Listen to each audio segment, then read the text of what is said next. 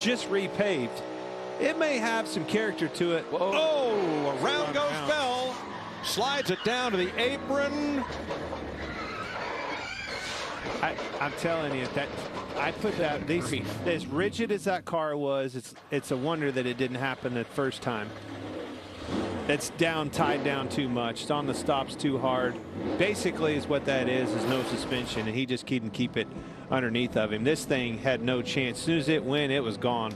Picks up that dirt on the right rear. And he's just trying to get everything he can get. I mean, he's he's not trying to put himself in a bad spot right there, obviously. He's just trying to make the track as long as he can.